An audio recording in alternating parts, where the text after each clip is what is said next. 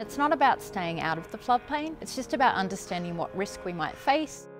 Flood mapping is the tool that we use to understand where we might have a flood risk for our community. With the amount of growth that we're expecting in Logan, it's really important that we plan carefully and one of the key things that we have to consider is natural hazards. The traditional style of flood mapping only considered the chance of a flood event and so typically we used that 1% flood or it was previously known as the 1 in 100 flood. Now we consider both the chance of flooding and how dangerous and hazardous it is.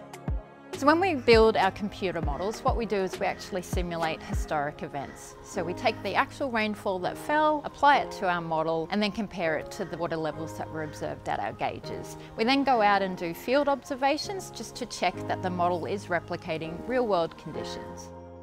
Our telemetry network is a network of river and rainfall monitoring equipment and we can use that then to get real-time information of what's actually happening across the city.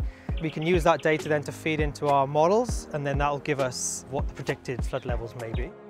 So the new flood mapping has identified that about 30% of us interact with the floodplain in some way. The state planning policy requires that we look at the whole floodplain and consider the areas of flood risk within that floodplain. And it also requires that we look ahead in time. So we have to factor in climate change. And that's because we know that the risk is increasing.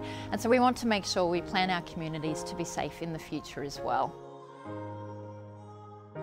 Floodplains are an important part of our ecosystem and by mapping and understanding where our floodplains are, we can allow them to do what they're meant to do.